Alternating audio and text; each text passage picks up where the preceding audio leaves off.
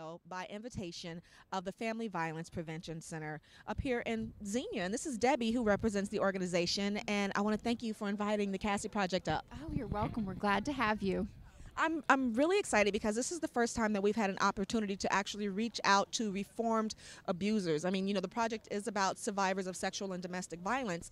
However, I believe a huge part of healing is for us to hear from, you know, both sides of you know the, the situation and and to know that we need to well the survivors need to release you know to know that it wasn't our fault that we were abused. And to hear from someone on the other side of that situation is gravely important. Tell me about your organization. Well our organization is um, really dedicated to making sure that we're able to help both the women and the men who are involved with family violence helping survivors is very important, but also reaching out to those who have perpetrated the violence um, to help them change the way that they think, um, to explore other options. Um, alternatives to violence and changing their expectations uh, in their relationships and looking at personal responsibility. How huge is the um, participation, I should say? Because a lot of times, you know, I've, I've been in situations with, um, I'm a survivor as well, and I've been in situations with men who will never admit, I didn't really hit you, I just kind of like pushed you really hard, or, you know what I mean? It's not my fault you got a bruise, or this, that, and the other. How much participation or eagerness do you have from the perpetrators to be a part of your program? Mm. Well, most of them are court ordered into our program, so there's a little bit of motivation coming um, from another source. But that's okay, we can work with that.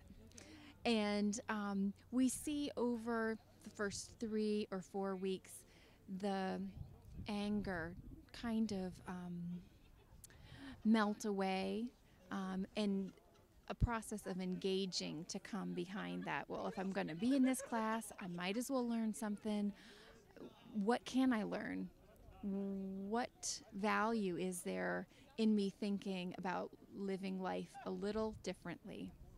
And so, um, though they're required, um, there is opportunity for change even in court ordering.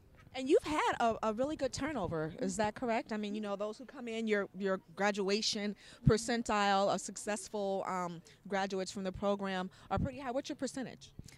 Ooh, that is a really good question. And off the top, I cannot tell you the answer. we log onto the website to find out. It's probably there. yes, yes. Statistical information is there. Okay. Mm-hmm. And what is your website?